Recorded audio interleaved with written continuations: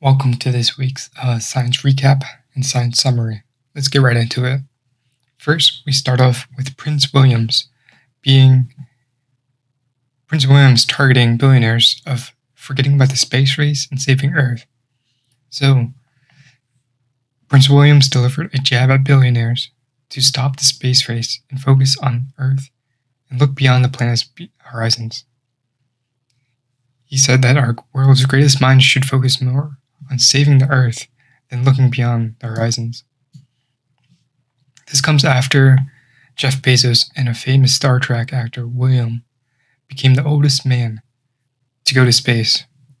He said, quote, the fragility of the planet, the fragility of this planet and coming catastrophic event, and we all need to clean up this act now. So right now there's three main billionaires heading to space. We obviously have Elon Musk with SpaceX, Jeff Bezos with Blue Origin, and Richard, Richard Branson with Virgin Galactic, all with different goals.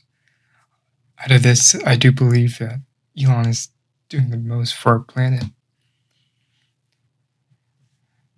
So, with those three billionaires, that leaves 2,752 others to save the world, and they've had decades to work on it, but no one has really made any real progress. All right, on to the next topic. Comes with LG signing a battery with Sigma Lithium. So, Sigma Lithium produces 100% powered by clean energy batteries. This is a six year contract signed by LG Energy Solutions and the supplier Sigma Lithiums. They say that this signals importance of securing lithium supply.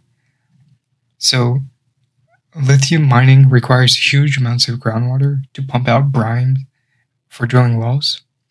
And this estimates show that there's 2 million liters of water needed to produce one ton of lithium. This is very um, disastrous to the environment. Um, in Chile, lithium and other mining activities consume 65% of the water, causing groundwater depletion, soil contamination, and other forms of environmental degradation. Why is this important? Well, securing a long term supply of lithium for any manufacturer is key in this market, given the supply chain disruptions and the growth in energy storage deployment and projects for future contracting. The South Korean battery system and electronic mobile company, will purchase initial 6,060 tons from 2022 to 2023 this amount increasing to 100,000 tons per year from 2024 to 2027. There's also an additional option to get an additional 50k tons a year. So, Sigma Lithium produces 100% powered by clean energy and does not utilize hazardous chemicals, and it recirculates 100% of the water and uses dry stacking for their tailings. This is magnificent for the environment, and they believe that this sustainability, scalability, and reliability in production of high quality, quality lithium will be essential to meet the demands for sustainable energy leaders. Next, we have a new treatment for cancer. This new cancer treatment destroys tumors and terminally ill um, this is just based off one patient, though, so that is a big caution. Um, the one patient who was expected to die four years ago told the Guardian of this amazing moment that nurses called him in weeks before, weeks after he joined the study, to say that the tumor had completely disappeared. This is a 77 year old grandfather who is now cancer free and apparently spent the last week on a cruise like I said, this was only one person, so unfortunately, the results were not all statistically significant. Of course, these patients were essentially terminally ill, so it's possible that the treatment could have had more consistent results if given earlier. it's also possible that there's only a small number of cancers that are actually being targeted with this treatment. So we don't know the exact cancer that this person had, and we don't know if this is for all cancers, which it probably isn't. So it is good news, but with a grain of caution. Next, we have 27 uh, petawatts of energy could be generated each year from rooftop solar panels. Often, solar panels, solar power gets pushed back because people believe it would use too much land to power the world. But in reality, we could power the world with our rooftops alone if we wanted to. Of course, using one half of the 1% of the world's ground, we could power the world as well. But rooftop solar is better because it brings reliance to locals and generates greater revenue for structures. So, by various estimates, rooftop solar panels could provide a quarter to half of the world's energy needs by 2050. But within this wide range, there are many uncertainties, and researchers have struggled to develop a true global picture of what rooftop solar panels could look like. So without continuing reductions, so with continuing reductions in manufacturing cost and improvements, the ability to install this equipment on rooftops are, are the best way and the fastest way to increase sustainability energy supplies. The greatest um, potential still relies on Asia, lies in Asia, North America, and Europe.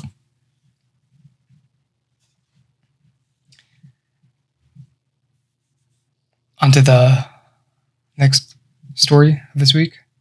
A little bit scary, but yeah, um, this company called Ghost Robotics strapped a rifle onto a robotic dog. So we see this image right here where somebody strapped on to a, strapped a sniper rifle onto a back of a quadruple I mean onto the back of a robot dog.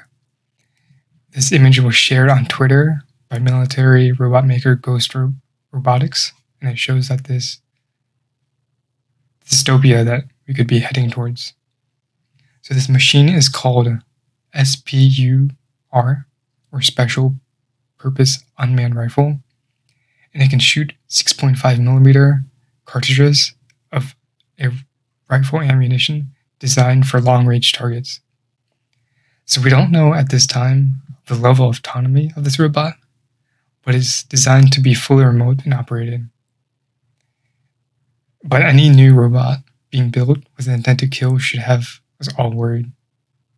Like we've seen the movies, we've read this sci-fi of what's to come. Going back to uh, more renewable energy, this is from the UK. So the UK will be hosting the UN Climate Change Conference from October 31st to November 20th, and the UK's Prime Minister Boris Johnson promised that all of the UK's energy will come from sustainable energy by 2035.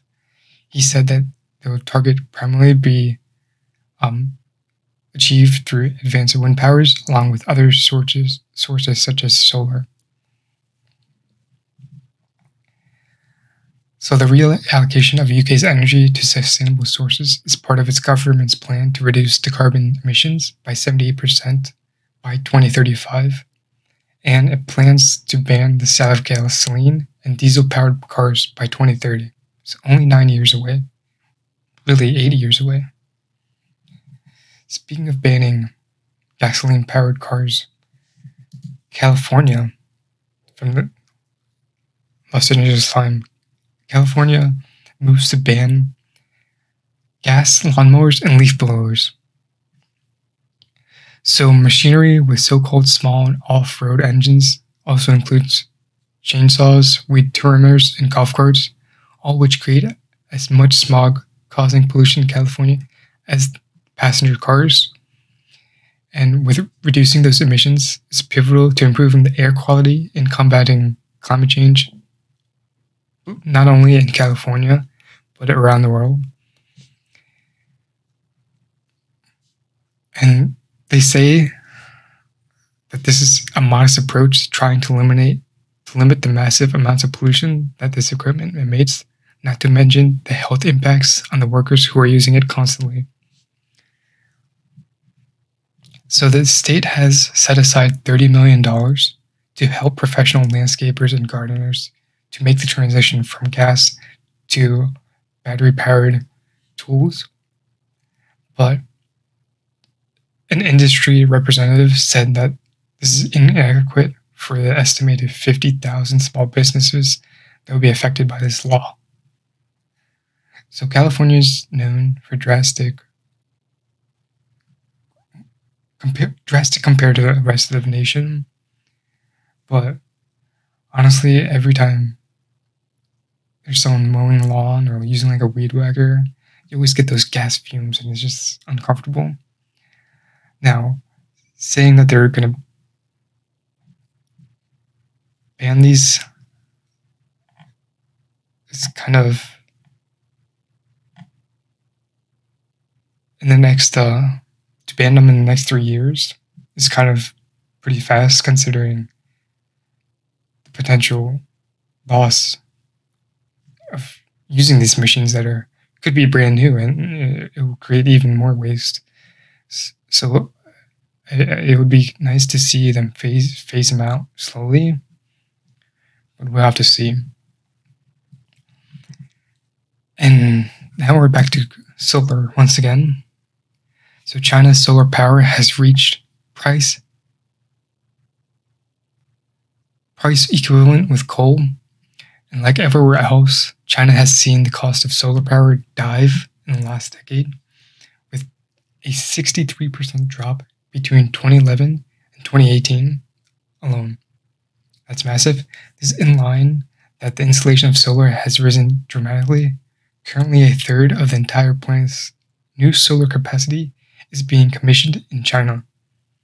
Yeah, China has passed the US in 2013 and Germany in 2015 and now has over 250 gigawatts active, which is more than double what its economic plan has specified by this point. So this gives China plans to hit net zero emissions by 2060 and it's likely to continue continue this building spree of solar energy.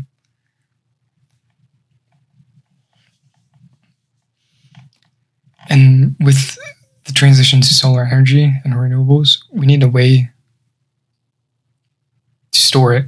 And Tesla has unveiled this new structured battery. So, with Gigafactory Berlin giving out a tour last week, Tesla unveiled its latest structure of a battery of 468 cells during a Gigafactory tour in Berlin ahead of the Model Y production at the new factory. So, the start of the production at the Gigafactory Berlin is not just significant for Tesla's growth in Europe, but also marks the launch of an important new version of the Model Y. Tesla plans to build out the new Model Y at this Berlin factory on a whole new platform with this new battery technology. So currently, Tesla builds battery packs by combining cells into modules which are put together to form a battery pack, and this battery pack is installed into the vehicle platform. This new concept, with this new concept, the difference is that Tesla is not using modules, but instead will be building the entire battery pack as a structural platform of the vehicle, with the battery cells helping to solidify the platform as one big unit. So now that the GigaFest at Berlin has come down. Tesla says that what's impressive about this is the relative simple platform of just three parts a battery pack and two large cast pieces is responsible for a large part of the total vehicle.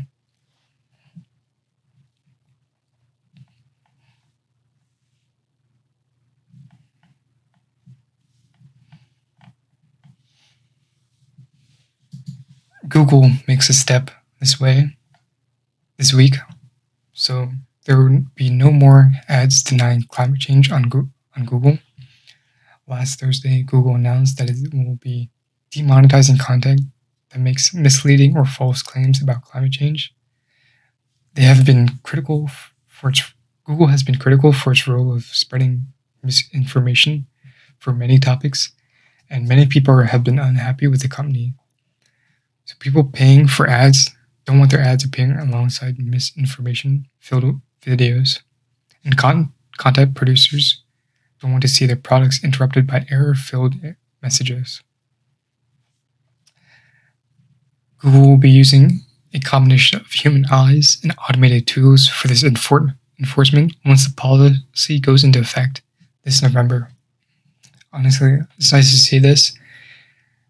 Um, tackling down on misinformation is hard, but it needs to be done on all platforms, and many subjects need to be covered. Going next onto more renewable energy. This is a huge step for the United States. The Biden administration plans for offshore wind everywhere. So the Biden admin has given the final approval for Vineyard Wine, for not wine, Vineyard Wind near Massachusetts, and has been involved with three large wind projects that will be sited off New Jersey. There are two other areas that are leading the process. One will be near New York Bight, which includes sites north of New York Harbor, along Long Island. And the second is by Carolina Long Beach, which includes areas near Myrtle Beach, South Carolina, north toward and a little bit north. So lease sales there have already started up, and the Department of Interior is considering opening up further sites adjacent to those. But the department is interested in expanding offshore wind significantly. To that end, it's currently process viewing sites north of California as well. There are further areas that they might expand into.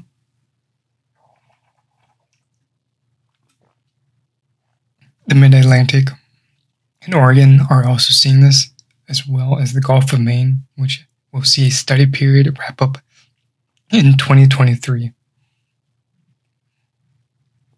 And on to the last topic this week. We have NASA's Lucy's mission, which took off early Saturday morning. the spacecraft is named Lucy because it rocketed to skies with diamonds Saturday morning a 12 year quest to explore eight asteroids around Jupiter. Seven of these mysterious space rocks are among swarms of asteroids sharing orbits with Jupiter. And this Atlas V rocket took off took off Saturday morning, and Lucy will be on a journey spanning 4 billion miles. So, Lucy is named after a 3.2 million year old skeleton and remains of a human ancestors found in, in Ethiopia around 50 years ago.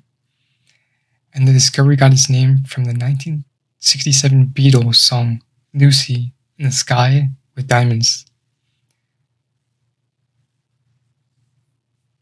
The spacecraft also carries a disk made out of lab grown diamonds for one of its science instruments.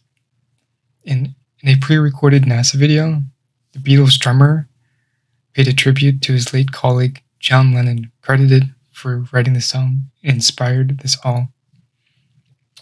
So that's it for this week's science summary. I hope you enjoyed, and I hope you come back next week to learn more and see what's going on in our world of science. Thank you and take care.